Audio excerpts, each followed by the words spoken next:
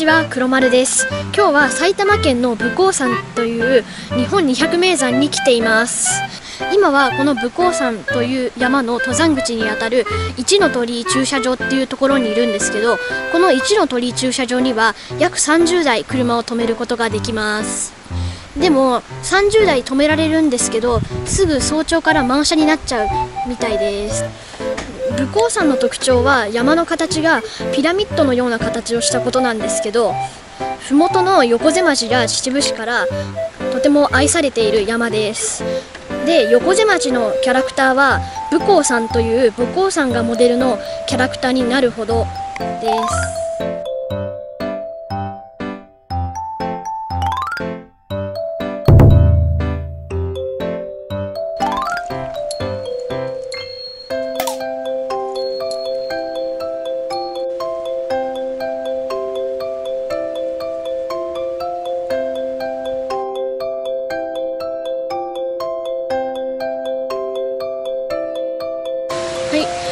さんは何丁目っていうのが登山道にこまめに書いてありましてで今いる場所は2丁目なんですけど登山口の1の鳥居は1丁目で山頂は52丁目だそうです。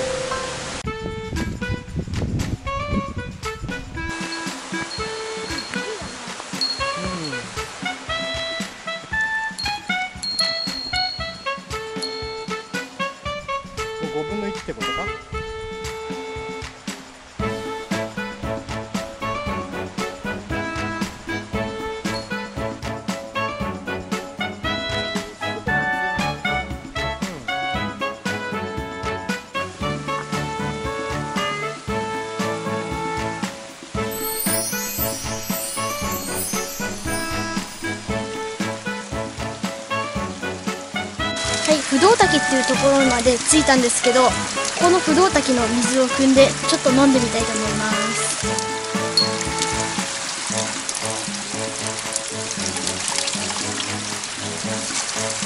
じゃあ飲みます。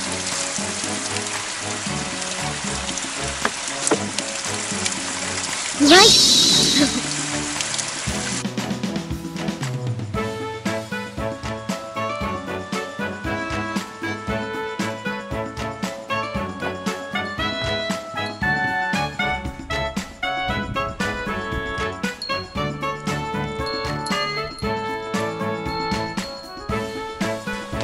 20丁目まで来ました。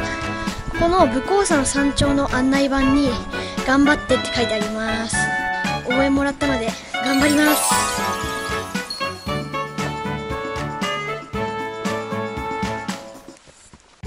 はい丁目で言うと半分の26丁目まで来ました。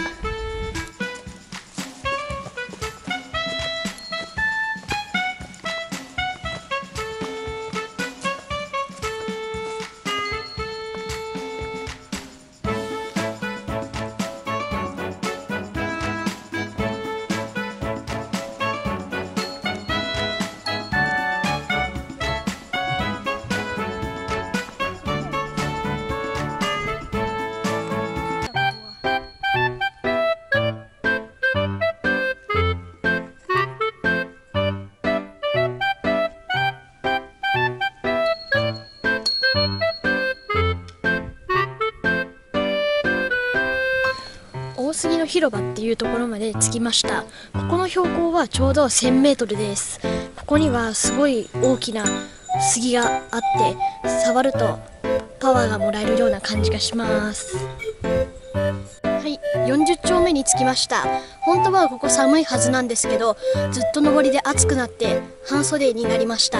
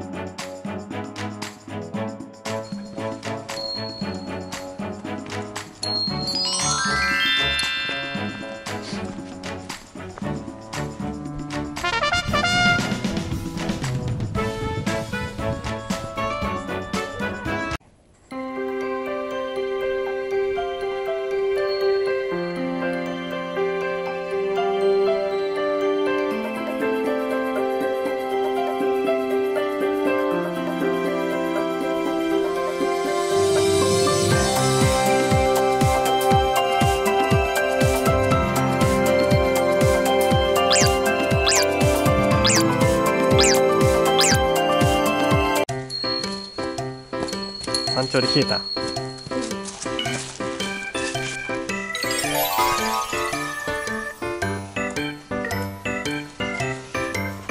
手が冷たくなっちゃったでしょ手が冷たくなっちゃったでしょうん。まで知り合った方からみかんをいただいでちょっと食べてみます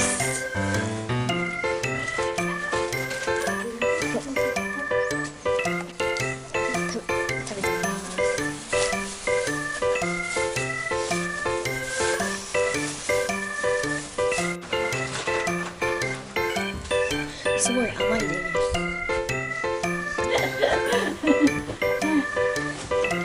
じゃあ気をつけておりましょう。あありがとうございます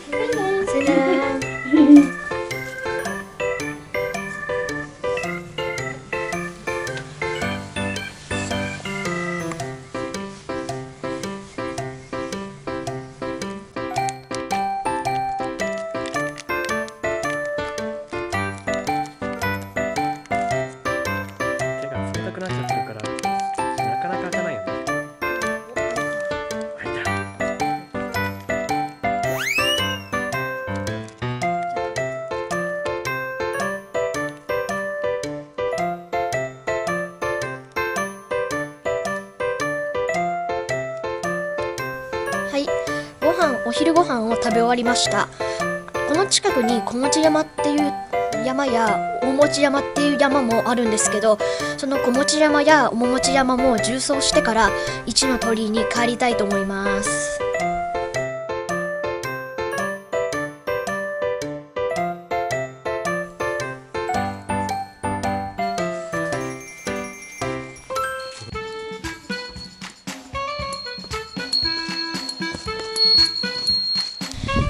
今白宿坊まで向かっているんですけど白宿坊までへの道はすごい急坂下りで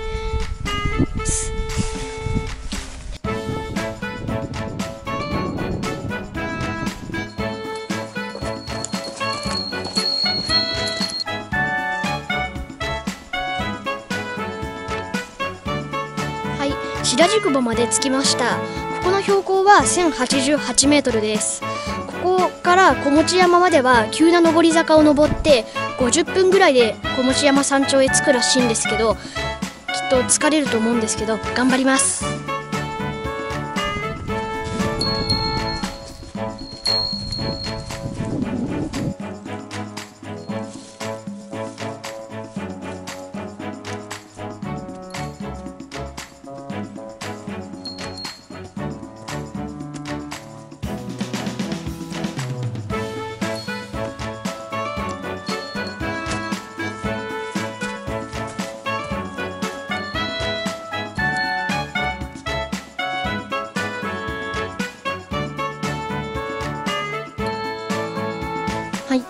ご飯を食べた武甲山がよく見えます。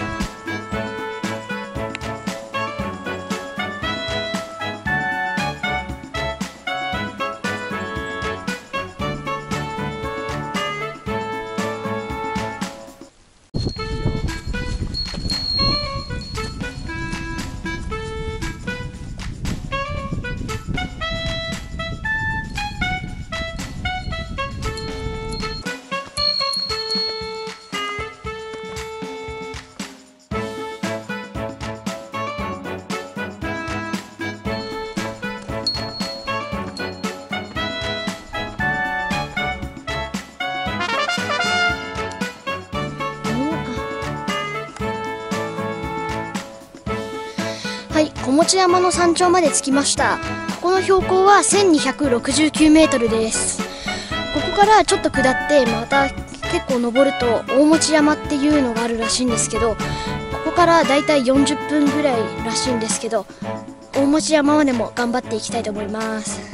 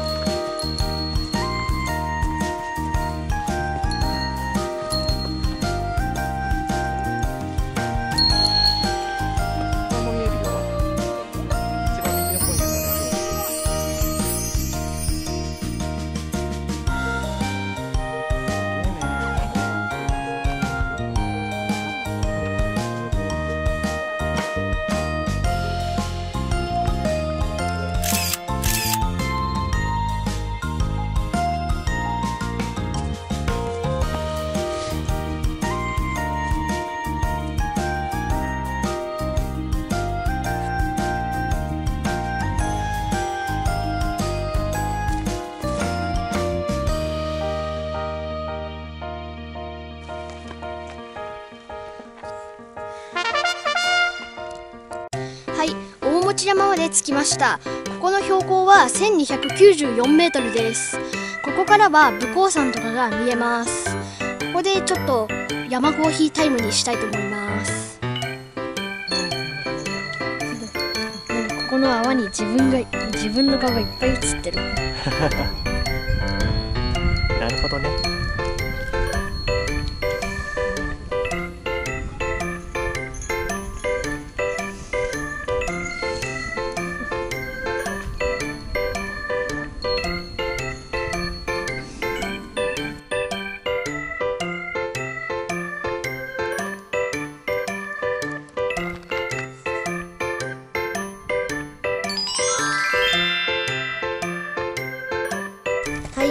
大持山での武甲山を見ながらの山コーヒーはすごい美味しかったです。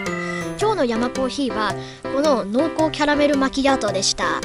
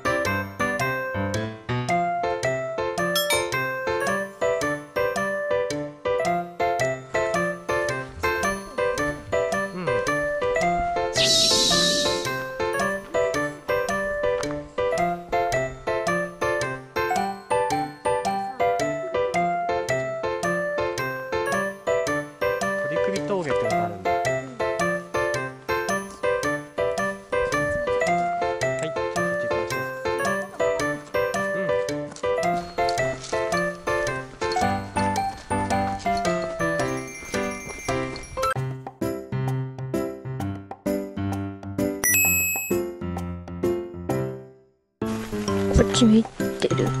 小鹿もいない？おお、すごい。声聞こえたかな？ねキュー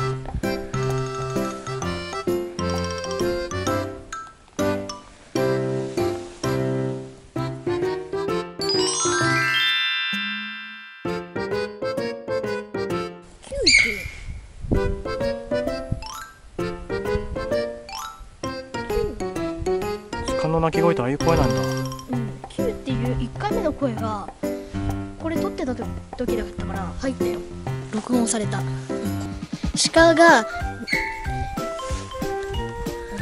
鹿が目の前にいてちょっと遠いんですけど鹿の鳴き声を初めて聞きました。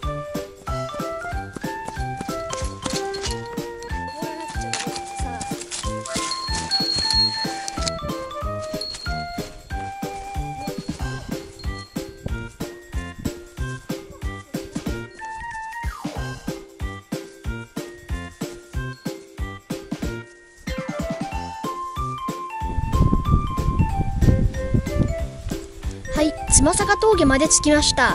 ここの標高は839メートルです。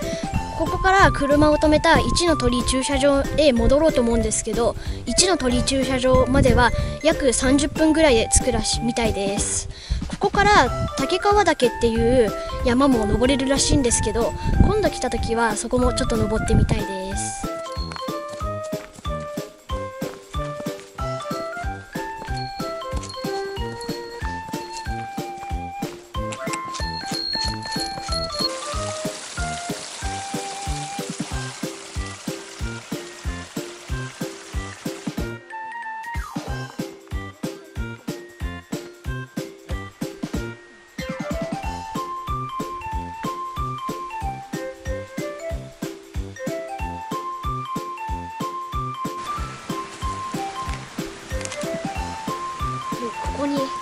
マさんにお願いって書いてあるんですけどこれは本当にお願いしたいです。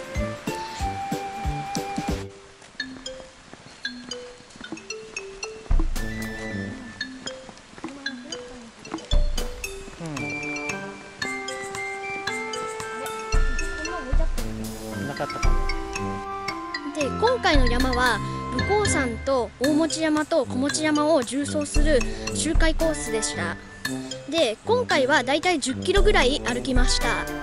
ですごい今日は疲れたんですけど武甲山の山頂からはすごいいい景色が見れました。それではここ52丁目あったうちの1丁目なんですけどここでお別れです。それではまたどこかの山でお会いしましょう。バイバーイ。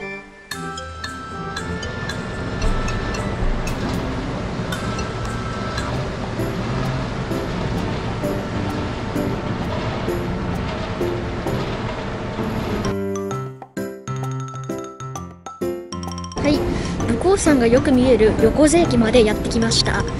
ここの横瀬駅ではすごいピラミッドの特徴的な形をした武甲山を見ることができます。ちなみに武甲山のアクセスの方法アクセス方法が交通機関の場合になるとここの横瀬駅で電車を降りることになります。それでは武甲綺麗なピラミッド状のブラ武甲山を見ながらお別れです。バイバイ。